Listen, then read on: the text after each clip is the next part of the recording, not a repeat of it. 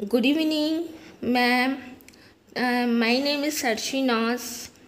Thank you so much Riya ma'am मैं इस artwork में बहुत सीखी हूँ कैसे नोट्स बनाते हैं कैसे लिखते हैं कैसे लेंस के ऊपर काम करते हैं ग्रिप को कैसे पकड़ते हैं ड्राइंग की पोजीशन कैसे होना चाहिए एक ही पेंसिल को यूज़ करके डिफरेंट डिफरेंट लाइंस बनाते हैं।